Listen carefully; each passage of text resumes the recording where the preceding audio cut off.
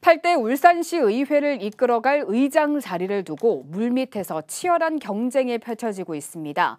의장뿐만 아니라 부의장과 상임위원장도 어떻게 구성될지 관심이 모아지는데요.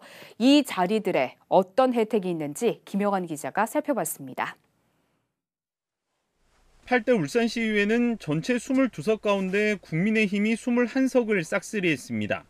다음 달 개원을 앞두고 8대 시의회를 이끌어갈 의장단과 상임위원장단 구성에 관심이 쏠리고 있습니다. 여야 간 갈등은 없지만 국민의힘 내에서 치열한 물밑 경쟁이 펼쳐지고 있습니다. 의장 선거는 강대길, 김기환, 안수일, 이성용 등 4파종 구도가 형성됐습니다. 시의회는 의장단 3명, 상임위원장단 5명, 예결특위 위원장까지 9석의 자리가 경쟁 대상입니다.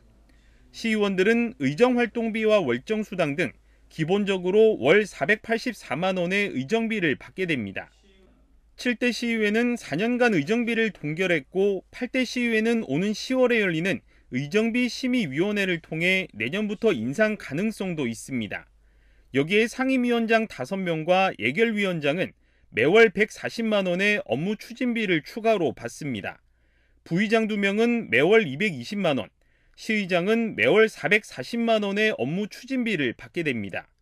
의장의 경우 차량이 제공되고 의장실과 비서실, 수행비서도 지원받습니다.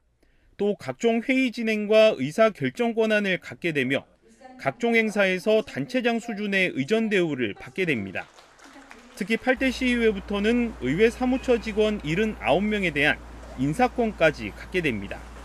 정치적 입지나 인지도도 달라지는 만큼 향후 정치적 행보를 고려할 때 의장단과 상임위원장단 선거는 과열될 수밖에 없습니다. 8대 시의회가 개원 전부터 자리 싸움에 매몰될지 큰 내용 없이 무난하게 원구성을 마칠 수 있을지 관심이 모아지고 있습니다. JCN 뉴스 김영환입니다.